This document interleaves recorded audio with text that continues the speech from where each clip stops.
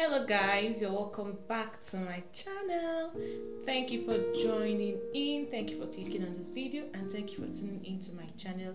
I really appreciate it. So guys i'm here again with another interesting video and today i'm just talking about the perfect time to be happy. You see this is a very important topic because sometimes some people think that there is actually a perfect time they'll be happy. There'll be one time when a particular thing happens in their life, that's when they'll be happy. But then there's something you discover with life.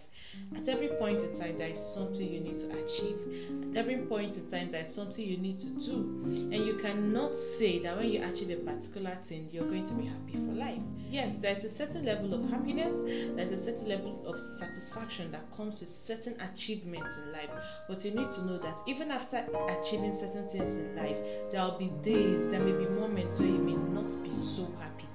Okay, your happiness is not actually tied to those achievements. If not, that a lot of people wouldn't be sad today. You see certain people that say, Ah, if I can just graduate from school, if I can just graduate from the university, I'll be very happy. You see some people that say if I can just get married, I'll be very happy. You see certain people that say, ah, if I can just become a billionaire, I'll be very happy. Yes, when they achieve these things, there's actually a, a level of happiness or a level of satisfaction or fulfillment it gives them. But trust me, it doesn't take away the fact that even despite those achievements, they will still have to put up with certain days where they are not so excited. They have to put up with certain days where sometimes you know one thing with life is those achievements at a point become common to you. You've achieved them there's nothing so special about them. Though maybe if you remember them they make you happy but you just re- realize that life is still back to normal.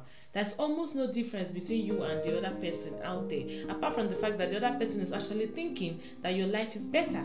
But in the real sense those things all these achievements don't give long lasting happiness don't give long lasting joy okay? They don't give long lasting joy. So you cannot postpone your happiness to the time you achieve certain things in life. The perfect time to be happy is now.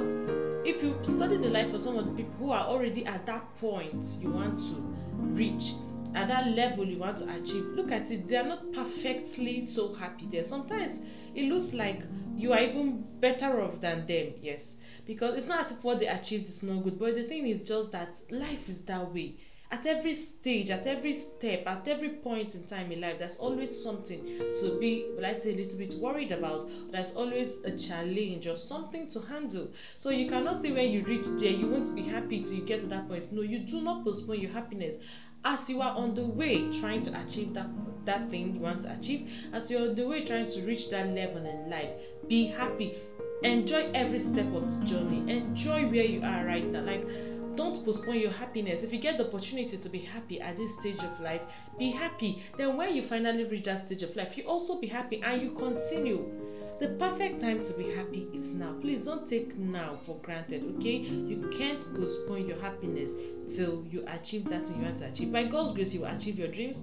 By God's grace, you will reach to the level you want to reach. But please do not postpone your happiness. Till then, Thank you for watching. I hope this video blesses you greatly. Thank you. See you in my next video. Bye.